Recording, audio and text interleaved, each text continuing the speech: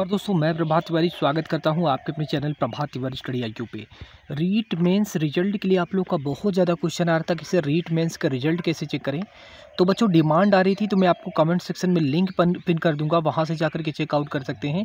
या फिर चलिए मैं आपको सीधे गूगल पे चलता हूँ। गूगल पे आएँगे सिंपली हम लोग सर्च करेंगे जी K C news dot com जैसे ही G K C news dot com search करेंगे, कुछ इस तरह का इंटरफेस खुलेगा। सबसे ऊपर ही आपको G K C news dot com की ऑफिशियल वेबसाइट देखने को मिलेगी।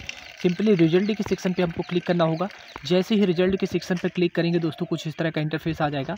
आप थोड़ा सा नीचे स्क्रॉल करके ये देख सकते हैं रीट मेंस रिज़ल्ट ठीक है? तो सिंपली बच्चों, इसी पर क्लिक करना होगा। और स्क्रॉल करके आएँगे तो यहाँ पर देख लीजिए कि आप लोग का परिणाम यहाँ पर लिंक को एक्टिवेट किया गया, ठीक है? लेकिन अभी रिज़ल्ट नहीं आया है कमिंग सून लिखा हुआ आ रहा है। हो सकता है जब तक वीडियो पहुँचे, परिणाम घोषित हो गया हो, ठीक है? तो इसीलिए मैंने कमेंट सेक्शन में लिंक दिया है, आप लोग लगातार चेक करते रहिएगा किसी भी वक्त परिणाम आ सकता है, क्योंकि लिंक खोल दी गई है और परिणाम कभी भी जारी हो सकता है, ठीक है? तो चेक करते रहिएगा जब तक वीडियो के आप तक पहुँचे, परिणाम घोषित हो गया हो चाहे